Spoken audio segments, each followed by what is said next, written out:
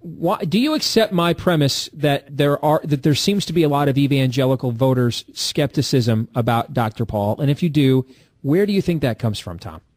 Well, I think uh, there, there's skepticism in a lot of quarters, not just evangelicals, but I think it's beginning to melt away as people who may have looked at him as being a little bit crankish in 2008 realize, well, wait a minute. I mean, he he did, after all, predict the, exactly what's happening to us now. You have to give him credit for that.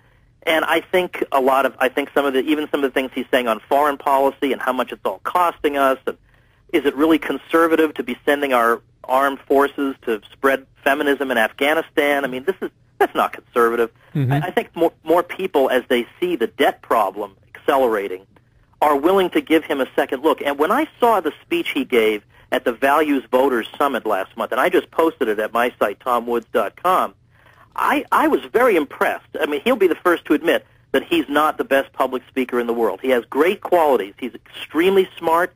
He has a 30-year consistent track record, and he's got a great, great personal integrity.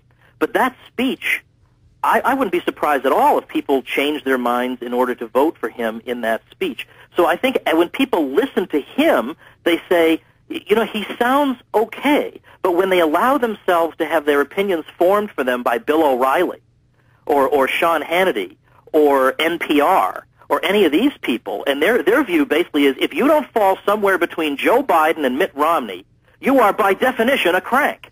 Well, look, I refuse to put myself in that box. and I, I'm glad that we have somebody like Ron Paul who refu- who not only doesn't want to be in that box, he wants to crush that box into the ground and then set it on fire.